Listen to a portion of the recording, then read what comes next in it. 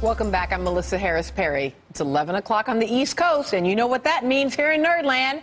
It's time for This Week in Voter Suppression. This week, you may be feeling a bit of deja vu because someone who's been making regular weekly appearances in voter suppression as recently as last week is still at it. It seems that Ohio Secretary of State John Husted just won't give up on his crusade to use his political power and influence to place restrictions around voting in the battleground state. He continues to take a stand for suppression, even after not one, not two, but three courts have told him have a seat. First, there was the federal court judge back in August who sided against the Ohio law to block voting the last weekend before Election Day. Husted didn't like that court's decision, so he tried another one.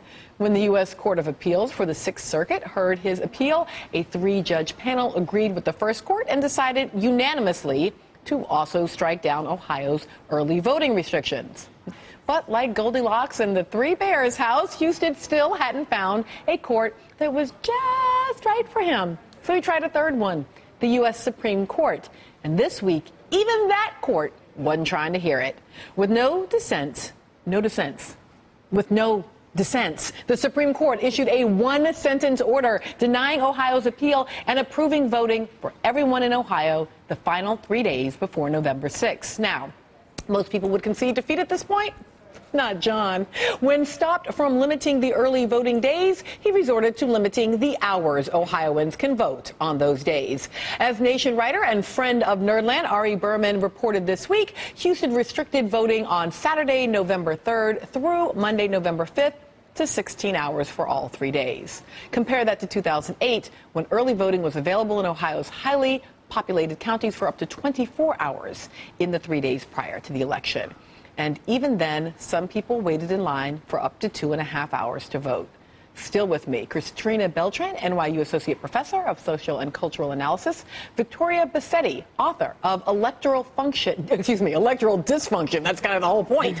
Um, Chris Achen, Professor of Politics at Princeton University, and Melanie Roussell, the National Press Secretary for the DNC. Also joining me from Washington, D.C., one of our This Week in Voter Suppression superstars, Judith Browne Dianis, co-director of the Advancement Project. Nice to see you, Judith.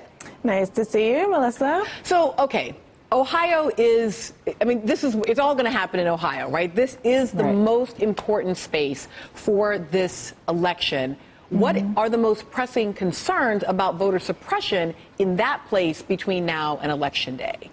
Well, you know, in Ohio, we continue to have this relentless effort to restrict the right to vote. And it started off with politicians trying to do it. And we will see as we get closer to the election that there will be political operatives, mm-hmm. individuals and organizations that will engage in efforts to restrict the vote. And so we have Husted trying to continue to go to the courts. Oh, that didn't work. Okay, let me do it through the administrative process. I'll cut back on the hours on my own.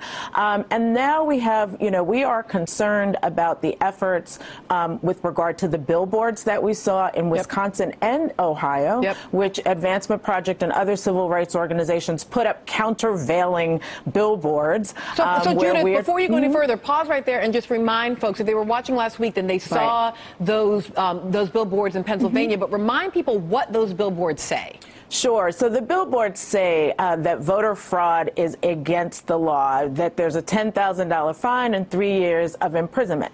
Put all in black communities in Milwaukee and in Ohio and some Latino communities. And so we know that these billboards are put up to intimidate people, scare them off from voting because there's a lot of mythology around what happens if, for example, you vote and you didn't pay your parking tickets, or you vote and you didn't pay child support, or you voted and you didn't show up for jury duty. Those kinds of things make people think, uh oh, I need to stay away. And so what we had to do is we have to educate voters. We have to do a countervailing balance because we know that there are people who don't want African Americans and Latinos to vote. So, so let me ask you about this countervailing, because it seems to me that part of what happens is if you take what um, what folks are meant to be doing, um, what their actual jobs are, and you say, okay, instead of doing that, you or, or you have to do that, but you also now have to educate voters. You have to put up new billboards. You, have, that you actually add this kind of additional burden, this additional cost to folks for just attempting to um, uh, to vote. Is is that what this is? It's sort of in the end that that no matter what the what these judges have said, because every court has said, no, you can't do these things, that nonetheless just causing the confusion, causing the stress is enough to suppress That's the right. vote? Well, yeah, that's what we're concerned about. You know, this will make it harder for people to vote. In Pennsylvania, for example, just yesterday, Advancement Project had to file a petition with the court because there continues to be a campaign of confusion by the state telling people, oh, get your ID. And then in small print in their ads, it will say it's not required. and so, you know, so we had to file a, a, you know, something with the court saying, stop it, stop the campaign of confusion. And so, yes, we're worried that people are going to be confused, but you know, the civil rights community, voting rights community, we're doing a yeoman's job of trying to get out the word that you don't need ID, that you have a right to vote. Let me ask you um, w- one more question because I'm really interested in the fact that True the Vote, as you point out, Mm-hmm. it started with politicians. Now we've got these one-off organizations like so-called True the Vote um, right. that are that are upping their um, intimidation tactics. And True the Vote is suing John Husted for not doing enough to suppress the vote, basically, right? I mean, Right, right. I, I got Right. like this was the one for me. I was like, "Are you serious?" So, That's so explain that to me. That's right. True the Vote wants him to go farther, you know? um, it is just ridiculous. True the Vote wants to do purging right before the election. You know, they, they're True the Vote. They're called election integrity in some states. And, you know, we are seeing those efforts really starting to take hold. They want to make sure that they can get people off the rolls before this election. And we're really concerned about that, but we're also concerned about the real voter fraud that's going to happen in the next few weeks. I'm sure that over the next few weeks, Melissa, in this week in voter suppression, you'll be covering things like the intimidation, deceptive practices, all the kinds of last minute things to block people from the voting booth. Absolutely. Thank you so much, Judith. Um, Thanks. uh, you know, undoubtedly, we will still be on this We're- week. we're fighting in back, voter though, Melissa. and, and, and I and I appreciate that, and, and that you know critically is going to make all the difference for the quality of our democracy. Thank you uh, to Judith Browne Dianis in Washington. Thanks, everyone. More voter suppression still to come. That's a tease for this show, but apparently it's also a prediction for our system. I'm bringing in the panel when we come back.